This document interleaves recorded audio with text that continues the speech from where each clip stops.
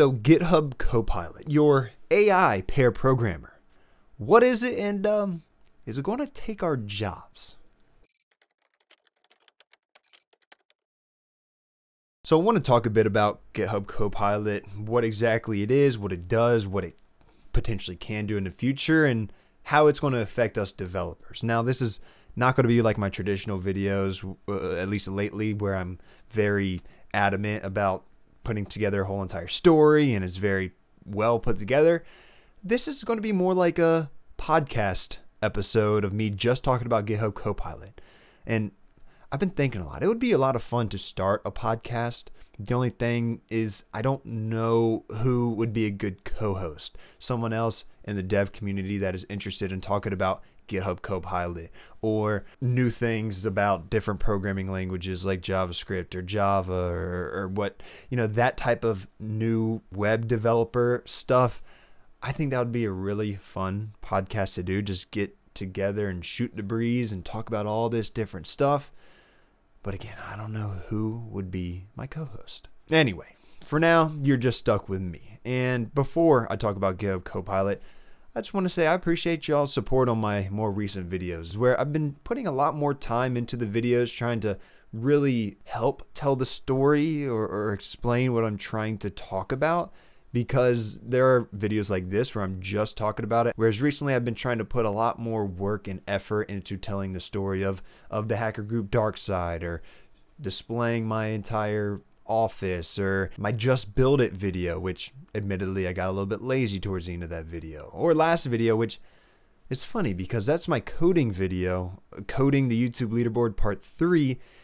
And I'm a coding channel, but y'all don't seem to enjoy watching me code, which is perfectly fine. I understand. I make all these different types of videos, office tour, talk about software engineering, try to talk about things that are for more advanced programmers, things that are for more beginner programmers, and then stuff that I code myself. So I get it. You're not going to watch every single one of those videos. I just figured y'all would rather see the coding video rather than the office tour video. But turns out I just don't know anything. Yeah, but I'm used to that, so it's okay. GitHub Copilot. What exactly is it? So when they say you're AI pair programmer, I'm fairly confident that they're fairly confident it's what they mean because I've used code completion, AI auto completion. What do they call it? Code assistance, AI code assistant uh, tools, extensions in VS Code like Kite and like Tabnine. I used to use Kite, now I use Tabnine. I feel like I'm liking Tabnine a little bit better, but the verdict is still out. I've only used it like three or four coding sessions. Either way, those are to help you complete whatever line of code that you were typing based on your previous code base. Like what else is in your code? What else you have typed using that extension? And that's kind of the AI part. It's it's learning like that. But when it comes to your AI pair programmer, the GitHub Copilot is basically having Stack Overflow automated inside your text editor, which is Visual Studio Code for right now. Because instead of taking a problem and typing in your code or, in question to Stack Overflow, or, or, you are trying to solve a problem, so you search it and you get a Stack Overflow answer as your as your result. You just type in that question as a comment. Maybe you have a little bit of code that you think should work, but maybe it doesn't, or you name the class and you want it to fill out the rest of the code block. GitHub Copilot will literally just give you the code block or if you don't like that particular code block, it'll give you 10 different options for what it thinks that you need. Sometimes the logic is slightly different in these options, but on the examples that I've seen more often than not, it is just like changing variable names or class names or whatever it may be.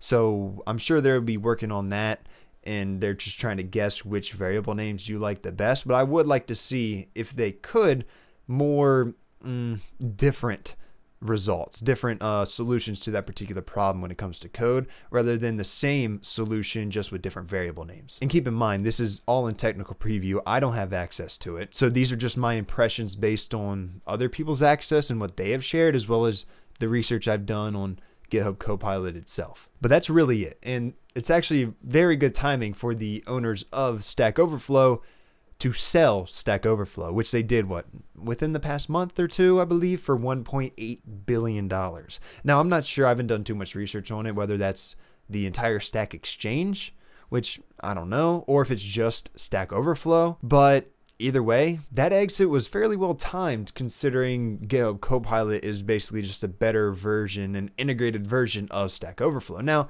there's always going to be a place for Stack Overflow if they ever allow new questions to occur instead of bullying you off the platform. And that is why is my GitHub Copilot recommending this code when that code is actually better?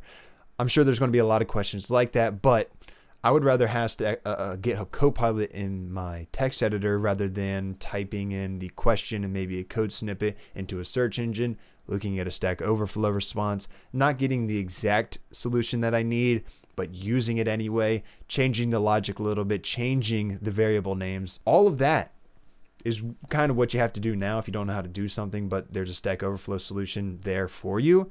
But with GitHub Copilot, it, since it's, you know, artificial intelligence, it's your AI pair programmer, in theory, it should have that logic that you're looking for with your proper variable names for the variables that you've declared earlier or whatever class names that you have and it should be able to fit into your code base exactly as if you typed it, it, assuming you're a good programmer. Now, I don't want my GitHub Copilot code blocks to look like I typed it. You know, I want it to be actual good code. So that's what I assume GitHub Copilot is hoping to do is, okay, this is the logic that you need these are your variables and everything like like it just fits into your code base like a glove. And again, for now I do have limited knowledge of GitHub Copilot in the sense that I haven't actually been able to personally use it. I'm on the wait list. I want to be able to make a video with y'all saying, "Oh, I you know, I, have used it for the past month or, or past week or whatever it may be, and this is kind of my experience with it. It does this bad, it does this good, whatever it may be." But in terms of how they're kind of pitching it and how others have shared their experience. That's the overall gist of GitHub Copilot. Now, my thoughts on GitHub Copilot. Well, first and foremost, GitHub, if you don't know, is now owned by Microsoft. And you know how I feel about Microsoft as I say this on my Windows computer. But I've made plenty of videos regarding Microsoft and kind of their shady practices in the past and a lot of that type of stuff. And the fact of the matter is, Microsoft with GitHub is trying to take over the entire market, it appears. Because just think about the steps of creating a coding project. You, you know, obviously you formulate the idea, whatever, but then you plan it out. You use some sort of uh, uh, software like Jira or Trello or, or Asana or maybe Notion, whatever it may be, those types of softwares. But GitHub now has GitHub issues. And that is exactly what it is, is a uh, project management tool. And then what do you do next? Well, you code the project. And if you don't know, Atom is brought to you by GitHub according to their repository. So they have their own text editor. Now, it is a solid text editor, but I do, in my opinion, believe that they have a ways to go to compete, like actually compete with a VS Code. I like VS Code a lot better, even though I like the aesthetics and the overall interface of Atom a little bit better. It's just VS Code just seems to do better. But either way, they have that, which I wouldn't be surprised if one day they renamed it to GitHub Atom or or GitHub Editor. That would probably be what they do because it's very straightforward. GitHub Issues, project management tool, issue tracking tool. And then GitHub Editor would make sense because it would be a text editor. And then what do you do after that? Well, version control, you obviously GitHub version control. And obviously you don't have to use GitHub. I'm saying this is like a obviously you don't have to use Apple, but yet Apple has cornered every single thing within their marketplace. And that's what GitHub and Microsoft seem to be doing with coding when you use GitHub. Because what do they do next? Is a CI CD pipeline, automated workflow, GitHub Actions. Instead of using something like uh, Circle CI or Jenkins or Layer CI or any of these uh, CI CD pipelines, you can just use GitHub Actions. And then when it comes to hosting, I know they have GitHub Pages. I don't know if they have anything beyond that, but that would seem to be a natural next step. And I think that would actually be a very good next step. Like, I hate the fact that Microsoft is trying to take over this whole entire, uh, uh, but I think hosting would be really cool because Imagine you have this open source software here. You could host it somewhere. You could type in uh, whatever the repository name is, or you could link up your own domain to it and basically work it like GitHub pages, but for anything more than just HTML, CSS, and JavaScript, because I believe that's all you can do with GitHub Pages. But obviously, if you know you want to have an entire web app, then they would have to look into how to go about hosting it, but as well as like database stuff and and all that. Obviously, they could figure it out. It's Microsoft, but I don't know. I I I, know I'm just going to talk this video, but that was a bit of a ramble. Either way, Microsoft is basically overtaking the market. And I think at a point, GitHub Copilot, once it's widely available, is going to be something where if you don't have it, then it'll be a hindrance to your programming ability.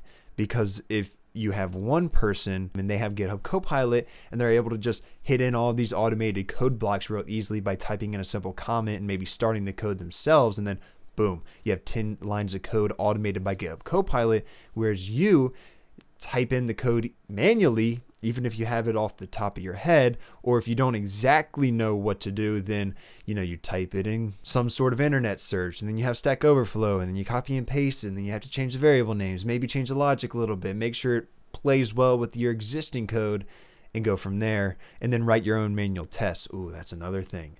The tests for github copilot are automated you don't have to worry about tests anymore or knowing how to do them. You can just say, yeah, write a test for this, and it does it. I think that's going to be one of the biggest things, uh, benefits for a lot of people because a lot of people hate tests that they hate it so much that, that they end up neglecting it. But if you can just type in, hey, write a test for this, and it does it, that's, I mean, I think that's a good thing because it'll lead to better code. So I believe that GitHub Copilot will improve developer jobs, but I don't see a point, at least in the foreseeable future, where it takes our jobs. And that's what I want to talk about next. A lot of people are like, is this going to take our jobs? This is bad for developers? Well, right now it's good for developers. In the future, I mean, we'll just have to wait and see.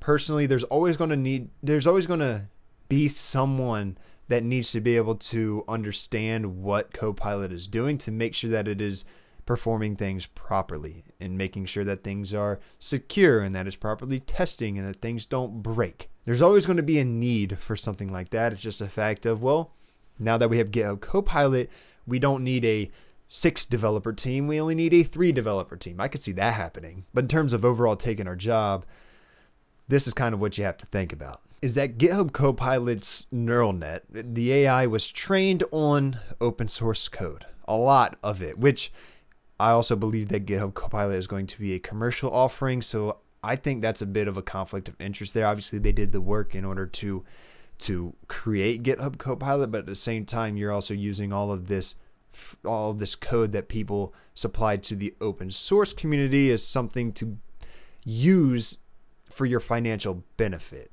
Now, you take that with how you wish. It's a bit odd, but that's not even the point I'm trying to make here. Is that so they trained it and right now it's in technical preview. But remember, it is an AI pair programmer. So the more programmers that use it, the more the AI is going to be trained and the better GitHub Copilot is going to get. So right now it's not all too great, but imagine if you have a million. I mean, it's pretty good, but it's not like taking our jobs great, right? But imagine you have a million, 10 million, 100 million developers using this, whether you're a good programmer or a bad programmer, I know if they're using my code, then maybe that'll set them back 10 years. So I'm I'm really just trying to get GitHub Copilot for our job security so it trains on my code and it can just never get good. But once it does train on all of these different developers' code bases and how they're writing their own code, is just going to continue to improve. And the more that developers use it and that it's helping the developers, the better it gets to the point where it makes the developer who is help help training it obsolete. Kind of a weird dynamic going on there, but that is a potential. I mean, that is that not a potential. That is what's going to happen. Not necessarily them taking the developer's job, but the developer is training this AI that a lot of people are scared could take their job. But my final point of view is like we have nothing to worry about for the foreseeable future because you're always going to need someone to be able to look over and maintain that code base for the most part. I could just be naive or biased or maybe a little scared, but I'm kind of confident in that statement. Hmm. I'd love to know y'all's thoughts on this. Like, do you see it taking developer jobs? Not all developer jobs, but cutting a team down from six developers to three developers, or maybe not so much. And if you have anyone in mind that would want to do some sort of web development podcast every other week or every month, or, you know, we could figure out a schedule, tag them. Well, can you tag them in comments? I don't think you can. Let them know that I am in search of some sort of co host on a web development podcast, and I just think it'll be a lot of fun. Anyway, I hope you enjoyed this video. It was a bit different than my normal, well put together videos, but eh, I like sitting here talking. But uh, I hope you enjoyed it nonetheless. If you did, please leave a thumbs up to help with the YouTube algorithm. Subscribe if you like coding, software engineering, that type of stuff. And I'll see y'all next week.